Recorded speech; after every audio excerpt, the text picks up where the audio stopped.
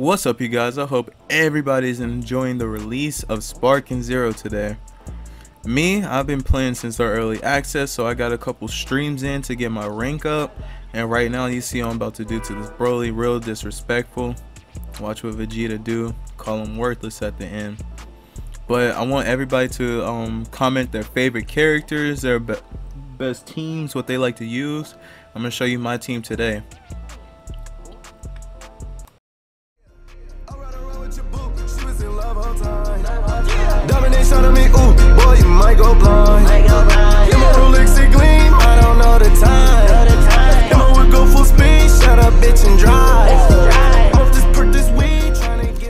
So yeah, in my previous streams, I worked my way up from D5 all the way up to like C2. And in this video, I'm trying to get to C1 right now.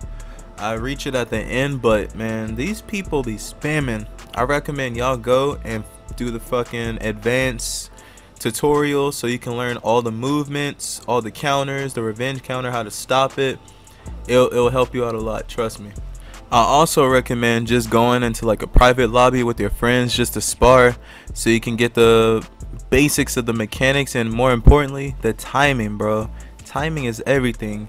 You don't time that R1 right when you in those battles, bro, he gonna hit you with a full combo. Full one. So obviously my first character I like to go with is Black Goku cuz man, you can't go wrong with Rose. Just look at this man's aura.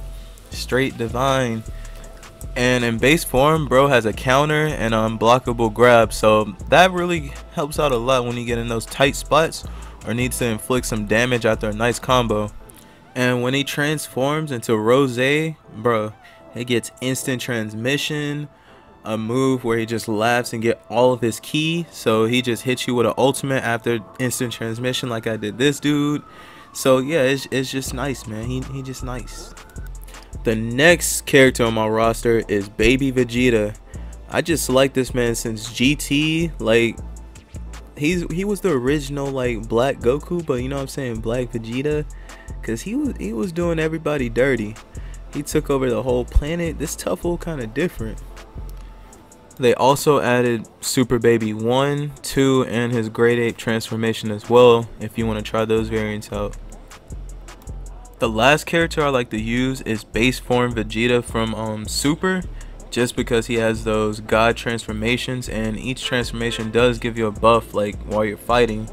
They also blessed him with a move that gives him full ki along with sparking mode so you can just go straight to work on them in base mode. Then you still have two transformations left. Two of them things well two god transformations you also have super saiyan but that nigga not playing also all of my characters cost 5 bp each in rank the limit is 15 so you can like make different variations like Vegito, Gogeta cost 7 points. So tell me what teams you guys managed to come up with and we can get some custom lobbies going and just test everybody's skills just to spar.